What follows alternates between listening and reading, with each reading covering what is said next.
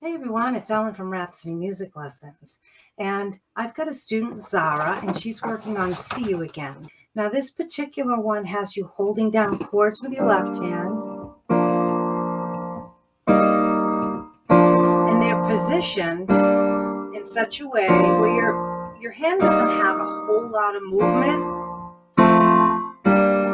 As you can see, right? So you want to practice these chords. If you don't know them, you know, they're all written in the bass staff. So just the, these are your chords right here, but it really does repeat just four chords. When you start the song, you bring your right hand up an octave for the intro and then back down into this register of your keyboard. So if you find my video helpful, I really would appreciate a like and a subscribe. And here's see you again.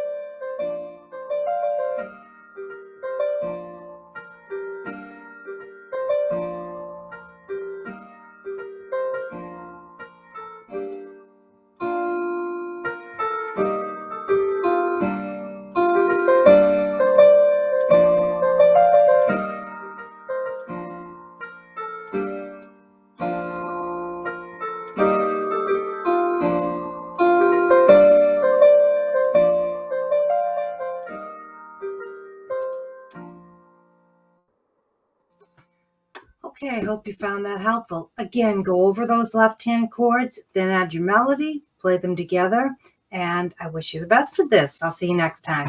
Bye-bye.